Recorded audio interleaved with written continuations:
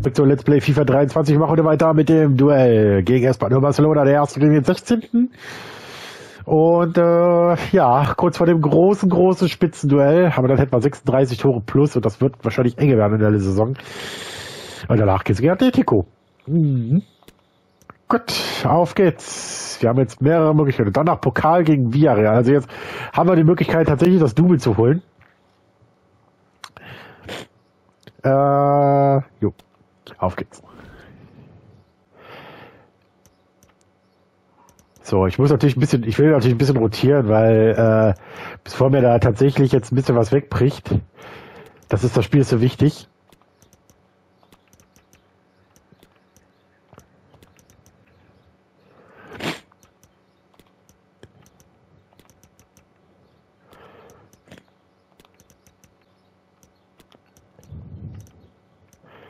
Deswegen rotiere ich jetzt mal gerade ein bisschen.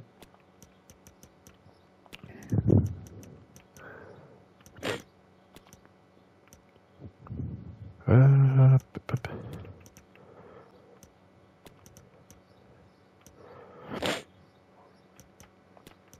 Aber ein bisschen den Jungs, den Talenten mal ein bisschen die Chance geben.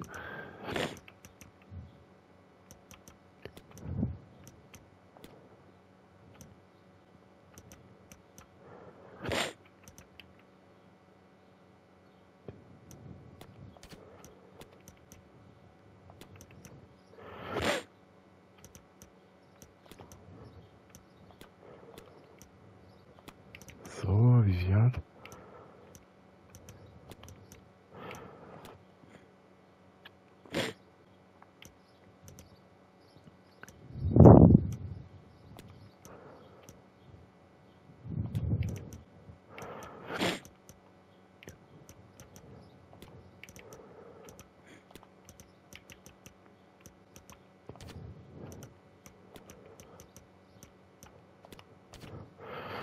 So, einfach mal ein bisschen den jungen Talenten die Chance geben. Auf Kids.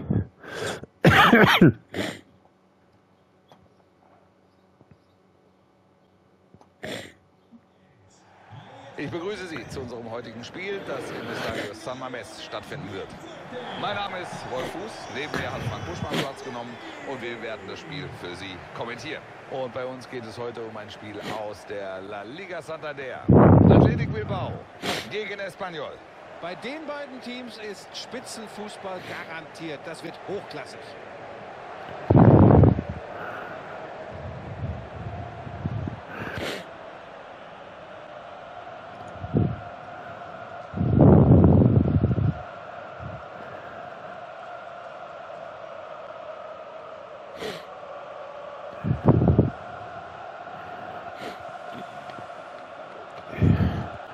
Wir sehen eingeblendet die Aufstellung von Bilbao. Einmal komplett durchrotiert. Heute das 4-4-2 mit Raute im Mittelfeld. Das heißt, genau da im Mittelfeld wollen sie viele Akzente setzen, wollen viele schnelle Vorstöße einleiten. Bis auf Jan Ball ist da keiner mehr in der Stadtformation, der mir zu Spiel gespielt hat. Jiménez zum Beispiel, einer äh, junger Talent, Ramos, ein junges Talent, das der eigentlich, also viel, viel eigenes, äh, eigenes Blut aus der, äh, dabei. Heute in einem 4-5-1. Man ist sich sicher. Setzen Man möchte schon, in den drei Tagen kommt nämlich Atletico. Und das möchte man einfach nur irgendwie dieses Spiel gewinnen. leicht gegen so eine Mannschaft zu spielen, denn die haben offensiv natürlich viele Optionen. Und es ist halt, Anführungszeichen, ein Abschiedskandidat. Aber man, nimmt sich die, man ist sich sicher, man will dieses Ding nach Hause ziehen, nach Hause fahren. Wenn du einen Club wie Barca in der eigenen Stadt hast, Buschit, dann hast du es natürlich schwer. Ja, wie das so ist, wenn äh, zwei Vereine in einer Stadt sind. Einer ist komplett im Rampenlicht, der andere geht ein bisschen unter. Ja, so wie Espanyol. Na dann, auf geht's ins Spiel. Spieltag 32. Wie gesagt, man möchte natürlich die Haus seine Hausaufgaben machen.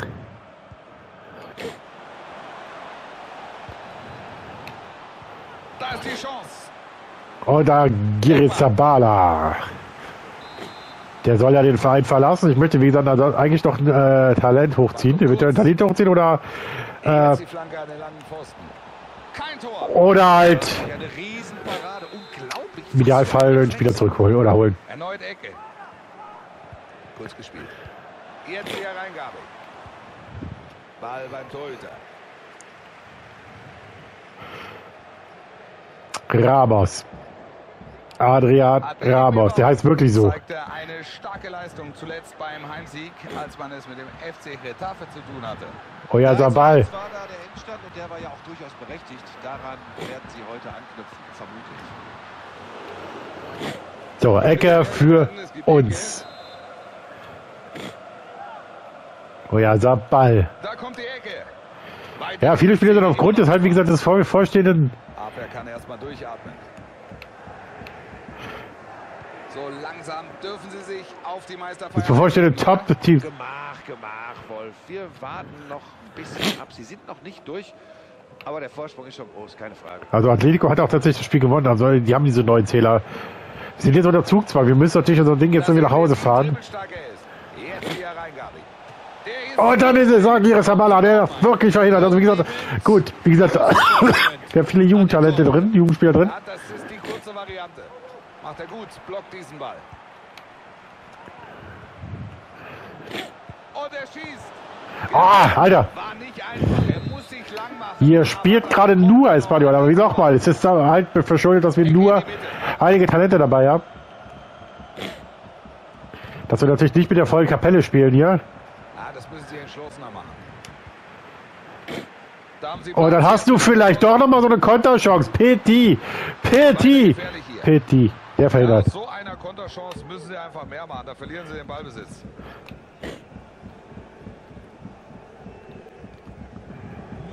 Sie kommen jetzt über außen. Ball läuft da gut jetzt. Alex, Vidal. Mit dem Ball am Fuß nach innen. Hoppala, das war riskant, aber es ist gut gegangen. Ja, ist ein Jetzt ist es Garcia. Jetzt hat er. Kein Abseits.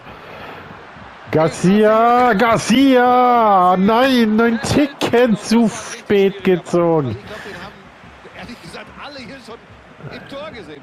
Super Reflex.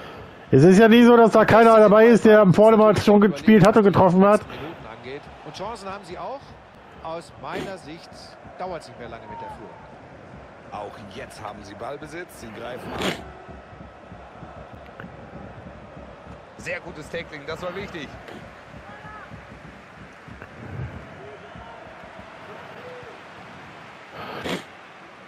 Ramos. Wo sollte der denn hin?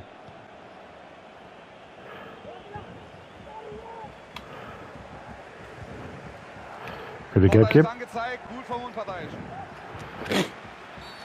Ah ja! Und das ist eine gute Gelegenheit.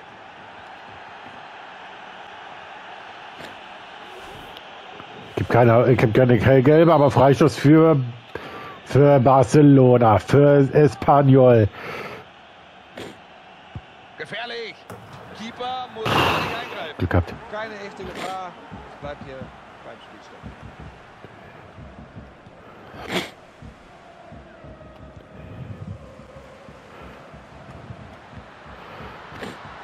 Garcia, Garcia! Und jetzt ist es dann, nicht mal das 1-0. Da sind sie klar unterlegen. Und jetzt doch dieses Tor. Die Führung für Atletico.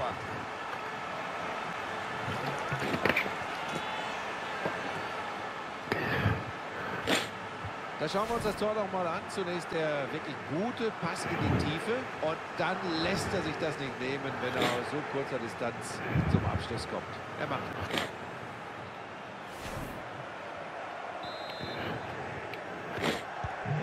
Und damit haben wir den ersten Treffer. Jetzt könnte das Spiel richtig Fahrt aufnehmen.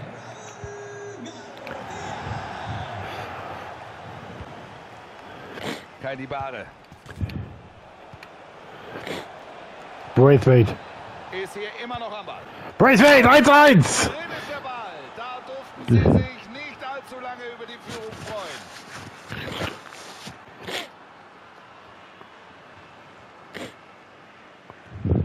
Wir sehen es hier noch mal, was entscheidend für das Tor ist. Das war einfach viel zu einfach. Lässt die komplette Abwehr einfach stehen. Da geht die Nummer 3 überhaupt nicht in den Zweikampf, kommt überhaupt nicht rein, geht da überhaupt gar nicht richtig gut ran. Steht 1 zu 1. Ja, den Einwurf geben kommt nicht mehr ran an diesen Pass. Braithwaite, der Torschütze. Ramos. Jetzt gibt's Einwurf. verzockt sich Bilbao in dieser Partie.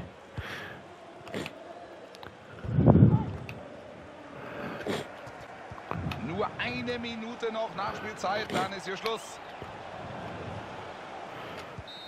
Ach, Fall, lass das laufen. Und das war das Ende der ersten 45 Minuten. Ja, nur 1-1.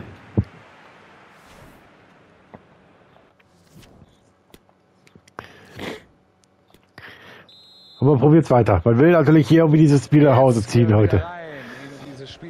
Oder reißt heute die Siegesserie ge- in Barcelona. Gegen Espanyol, wohlgemerkt. Aber wie gesagt, nochmal, das ist nur eine teilweise echt eine zusammengewürfelte BC-Truppe.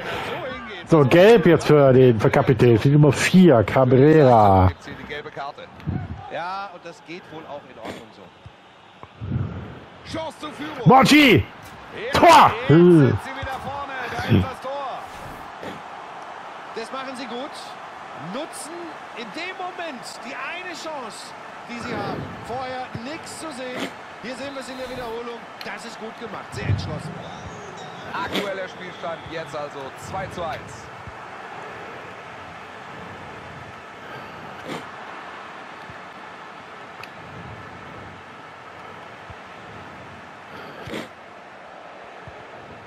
Jetzt haben sie den Ball.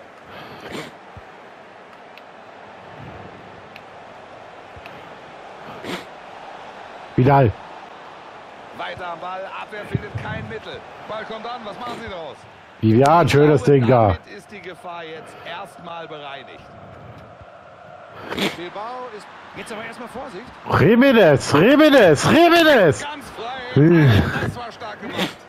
Boah, der war. Der nix aus der eigenen Jugend. Eine Riesenparade. Wird hier jetzt einen Wechsel geben. Er zieht ab. Sie können den Ball erstmal abblocken. In der La Liga Santander geht es dann bald weiter für Athletic Bilbao. Richtig. Dann geht es auswärts gegen Atletico Madrid. Und das könnte ein richtig gutes Spiel werden. Auf Abseits Abseits.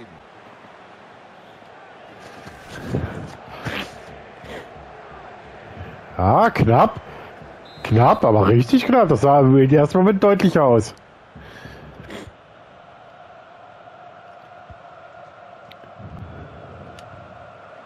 Mochi.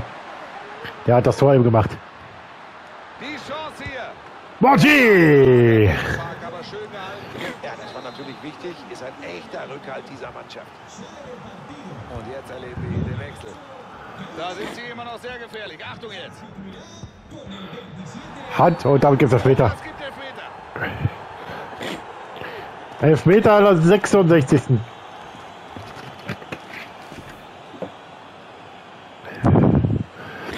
Und ja, richtige Entscheidung.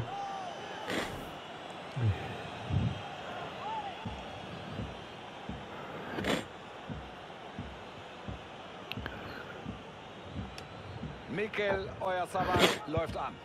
Oyarzabal, 3-1, 66. Spielminute.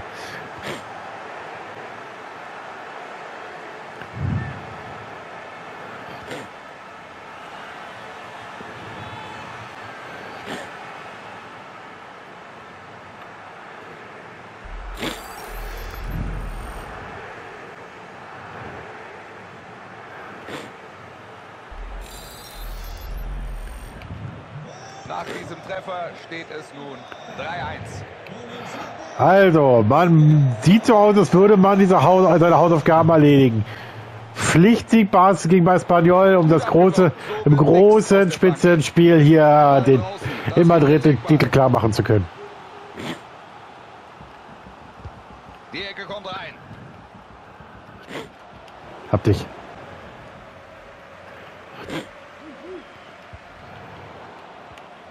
Sie können den Ball abfangen. Foul, Freistoß und das ist eine gute Gelegenheit. Oh, Freistoß für den Gegner.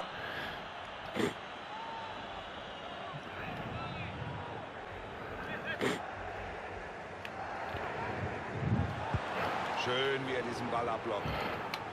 Das war richtig, der Ball da drauf zu gehen. Super Tackling. Garcia. nächsten Gegner von Espanyol Buschi. Es geht gegen Real Madrid im nächsten Spiel in der spanischen Liga, der La Liga Santander. Das wird schwer, so viel steht fest.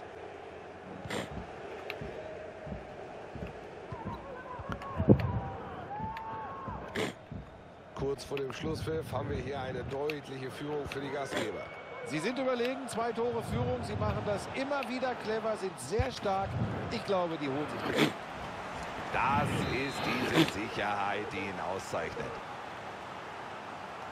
Ecke für Barcelona. Erstmal kommt der Ball raus. Gut geklärt erstmal. Sie stehen sehr hoch und genau das zahlt sich hier aus.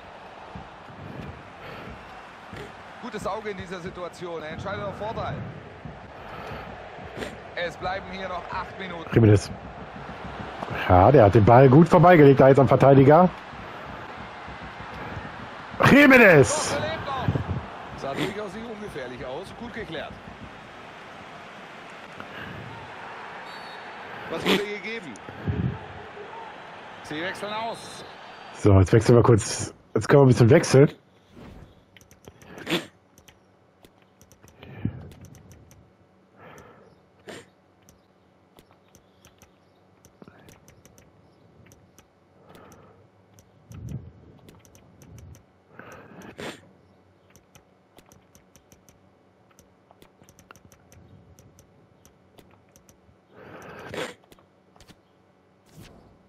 So, wechseln wir durch vor allem mal. Und hier sehen wir jetzt den Wechsel.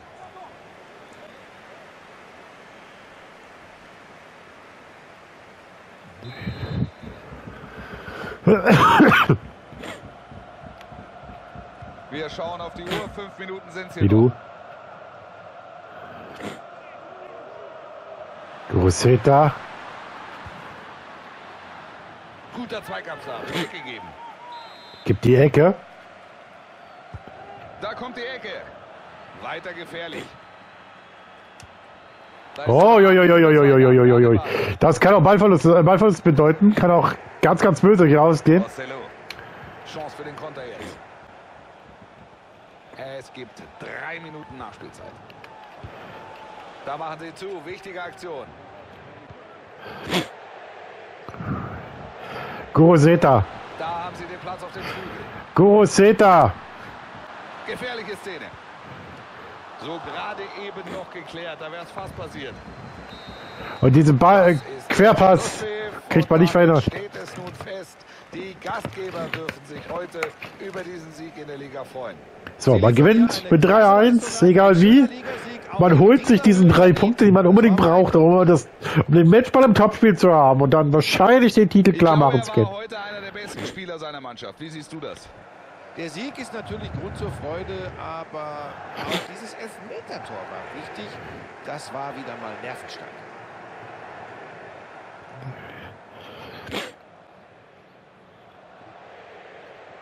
Ja, man hat auf jeden Fall die Aufgabe gelöst. Bilbao hat Anstoß. Und jetzt darf man im nächsten Match.